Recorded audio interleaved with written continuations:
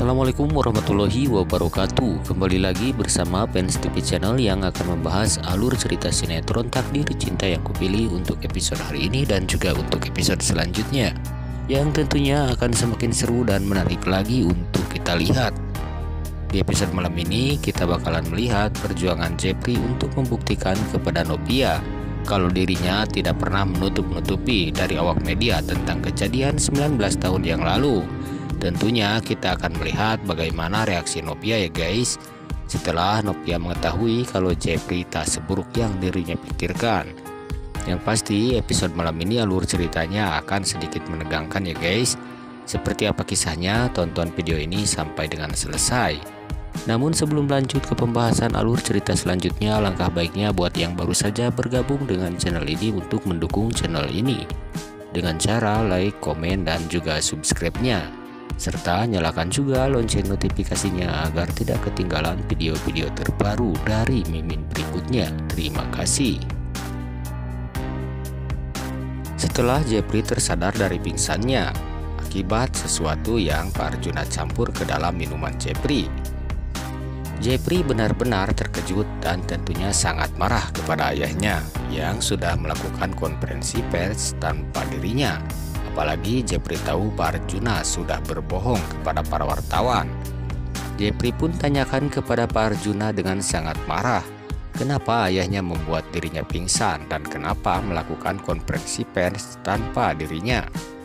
Pak Arjuna pun mencoba memberikan penjelasan kepada Jepri kalau membuka semuanya tidak ada gunanya dan hanya membuat Samsul dan Miranti senang saja. Pak Arjuna juga katakan kalau dirinya hanya mengorbankan sedikit untuk yang banyak. Namun penjelasan itu tidak membuat amarah Jepri mereda ya guys karena yang sudah Pak Arjuna korbankan itu perasaan Jepri pun langsung pergi meninggalkan Pak Arjuna dan Bu Astrid. Pak Arjuna pun sudah mencoba menahan Jepri. Namun sia-sia saja ya guys. Jepri tetap pergi dengan kekesalannya. Sementara di adegan lainnya, Jo terlihat sedang berkumpul bersama Naima dan juga kedua orang tuanya Naima. Saat itu Jo benar-benar sangat senang ya guys karena orang tua Naima akhirnya memberi satu kesempatan lagi untuknya.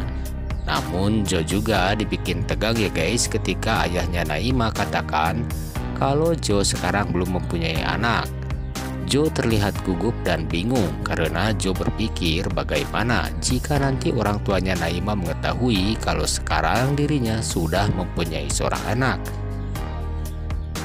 Jeffrey yang kesal kepada ayahnya karena sudah berbohong kepada wartawan dan juga pasti sudah membuat perasaan Novia hancur kali ini nekat akan melakukan sesuatu tentunya untuk membuat berita live di akun media sosialnya Jeffrey akan membuat surat pengakuan kalau berita yang sudah viral itu memang benar. Kalau dirinya memang sudah menabrak seseorang sampai meninggal 17 tahun yang lalu. Itu Jeffrey lakukan tentunya untuk membuat Novia percaya kepadanya bahwa dirinya tidak pernah berniat sedikit pun untuk menutup-nutupi soal kejadian 19 tahun yang lalu tapi ayahnya lah yang sudah menutupinya dan juga melarangnya untuk jujur. Dan jika Jeffrey berhasil dengan rencananya itu, bisa dipastikan ya guys, Novia akan benar-benar percaya kepada Jeffrey. Semoga saja apa yang Jeffrey lakukan akan bisa membuat Novia luluh ya guys. Bagaimana kisah selanjutnya tentunya ini sangat membuat sobat semua penasaran.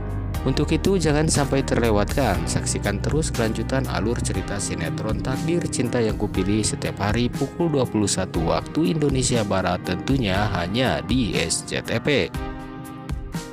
Oke guys, mungkin hanya itu saja sinopsis alur cerita sinetron Takdir Cinta yang kupilih untuk episode hari ini dan juga sedikit prediksi untuk kelanjutannya di video Mimin kali ini.